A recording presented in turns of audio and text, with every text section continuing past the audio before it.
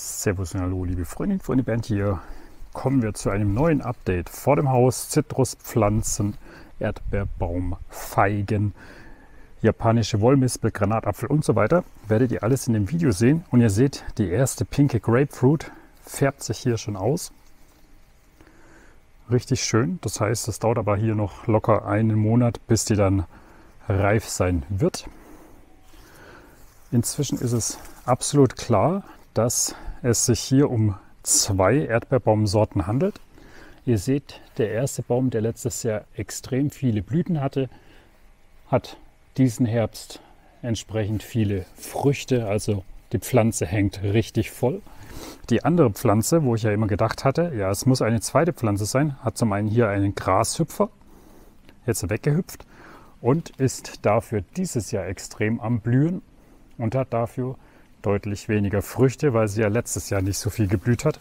Hier und da sind ein paar Früchte, aber es ist sehr überschaubar, was jetzt im Gegensatz an Blüten vorhanden ist, ist um Welten stärker ausgeprägt als das Jahr davor.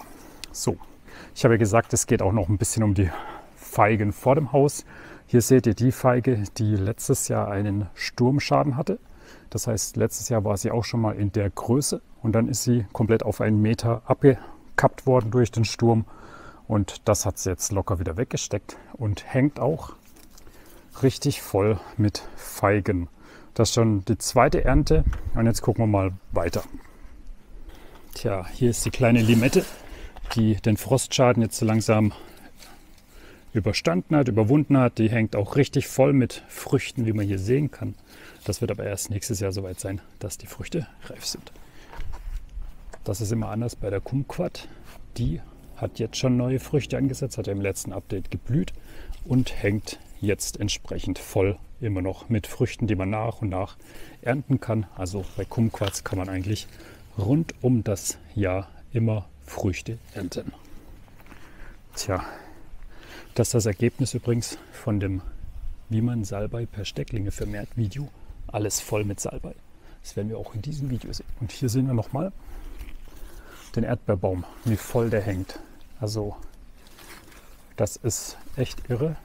Und da wird jetzt einiges reif werden, dann Richtung Winter hin. Jetzt sehen wir hier die Chanot-Feige. Da ist schon eine Frucht, die reif ist. Die haben nicht so einen langen Fruchtstiel, ist ein bisschen doof. Aber wir gucken jetzt einfach mal in die Frucht rein. Richtig schönes himbeerrotes Fruchtfleisch. So muss das sein. Und die schmeckt entsprechend auch echt gut. Mmh. Ihr seht, ich habe hier diese Abwurzelungs-, Abmoosungskugeln angebracht. Mittlerweile habe ich schon auf große Töpfe umgestellt. Die haben sich schon erfolgreich bewurzelt. Und da habe ich jetzt eben statt den Abmoosungskugeln, die ich jetzt für den Anfang hier dran mache, schon Töpfe mit 5 oder auch 7,5 Liter dran gemacht, dass er richtig durchwurzelt. Sobald es dann entsprechend durchgewurzelt ist, gehe ich mit der Schere dran und schneide die neue Pflanze praktisch ab. Ja, dann seht ihr da hinten die Bananen, die hier ohne Schutz ausgepflanzt sind, haben sich auch ganz gut gemacht. Den Mandelbaum habe ich schon abgeerntet. Da gibt es schon ein Video zum Thema Mandeln. Von daher viel über den Mandelbaum muss ich jetzt nicht erzählen. Jetzt gucken wir weiter.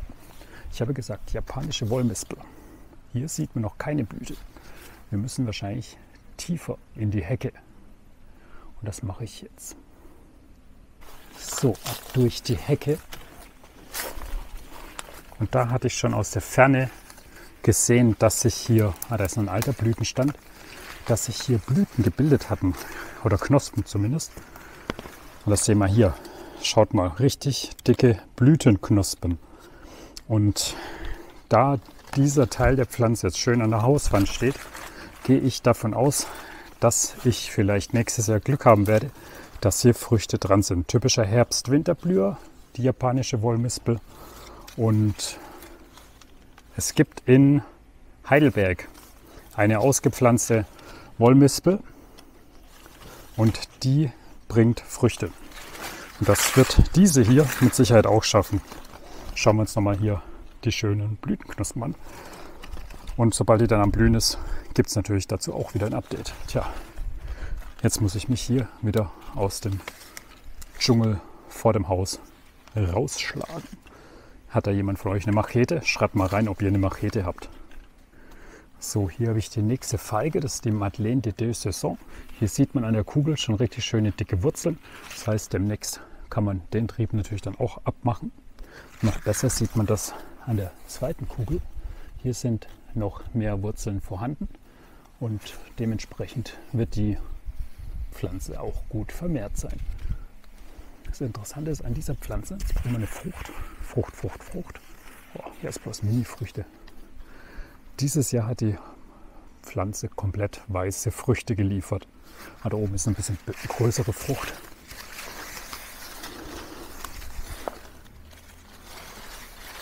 Die werden auch nicht dunkler und das Fruchtfleisch ist total weiß. Also typisch untypisch für die Pflanze an und für sich.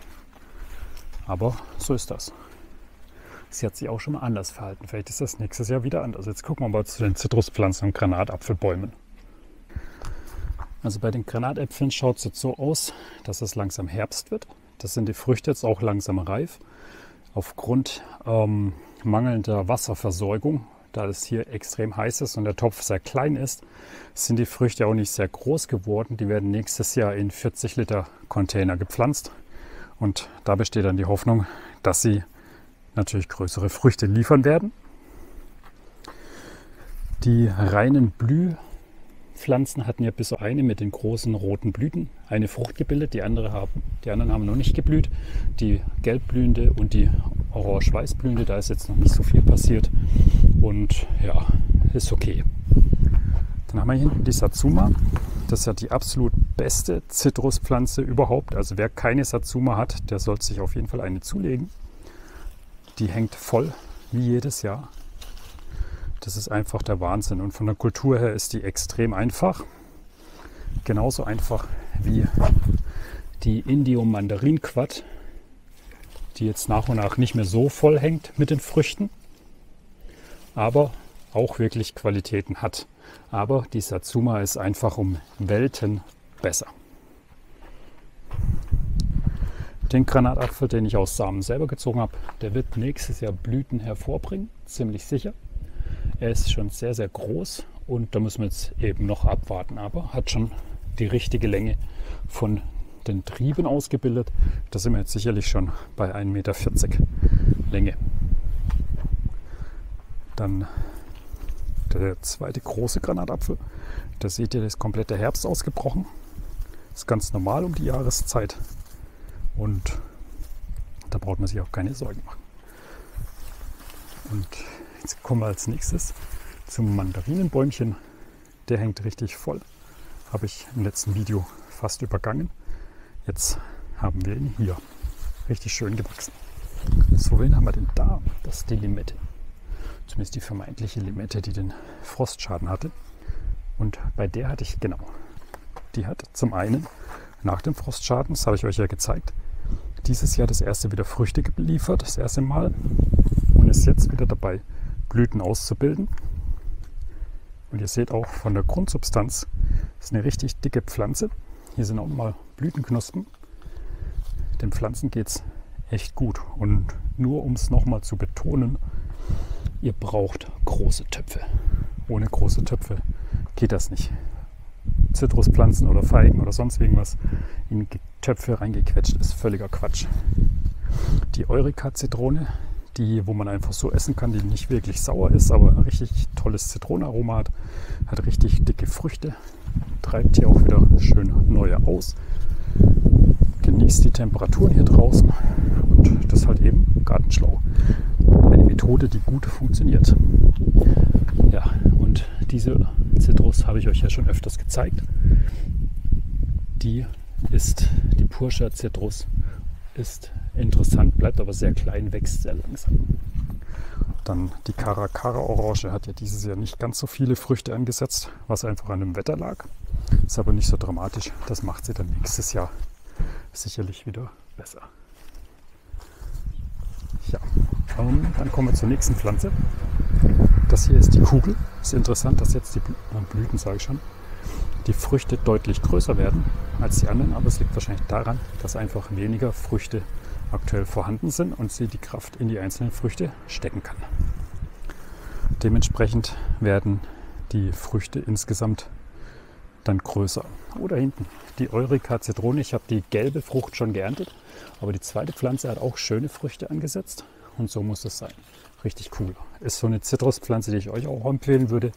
Wenn ihr sie findet, kauft es auf jeden Fall Eureka Zitrone. Ist jetzt momentan auch bedingt durch die Temperaturen ganz stark am Austreiben, macht aber auch nichts. Ich denke mal, bis die ersten richtigen Fröste kommen, die den jungen Trieben gefährlich werden könnten, da können wir uns noch ein bisschen zurücklehnen. Aber es das heißt nicht, dass man den Wetterbericht nicht beobachten sollte. Jetzt gucken wir hier. Mein Orangenbaum, da habe ich allerdings keine genaue Bezeichnung für die Orange, aber hat auch schöne Orangen ausgebildet, macht auch schöne Austriebe hier überall an den schönen Blättern, schauen auch insgesamt richtig gesund aus und ja, richtig dicke Orangen. So muss das sein. Tja, und der Mandarinen- oder Clementinenbaum, der hier schon seit Ewigkeiten Probleme hat, treibt jetzt hier kräftig aus. Und ich denke mal, das ist so der Hinweis, weil ich hatte ja schon über, öfters überlegt, wo ich sie zurückschneiden sollte, dass ich sie hier abkappen werde, direkt da, wo sie austreibt und die ganze Energie in diesen Trieb hineinleiten werde. Das heißt, der obere Teil wird kompostiert. So, jetzt kommen wir zu den letzten Pflanzen. So, die letzten Pflanzen sind hier die Ananas-Guaven. Dieses Jahr nicht ganz so viele Früchte bisher, sind die meisten irgendwie abgeworfen worden. Wahrscheinlich auch einfach wegen der Witterung oder der Winter Witterung geschuldet. Das wird nächstes Jahr mit Sicherheit wieder besser werden. Da schauen wir mal, dass es nächstes Jahr besser klappt. Aber dafür hat dieses Jahr die Erdbeerguave, wie ich es euch schon öfters gezeigt habe, wirklich richtig gut funktioniert. Und dementsprechend will man sich nicht beklagen, weil Erdbeer-Guave ist mindestens genauso cool wie Ananas-Guave. Und ja, die Pflanze ist auch wieder richtig schön dicht. Und die Früchte sind so circa in einem Monat, schätze ich mal, reif. Ja, das war das Update von den Pflanzen vor dem Haus. Und wenn ihr weitere Fragen habt, gerne in die Kommentare, Daumen hoch, Kanal abonnieren und tschüss.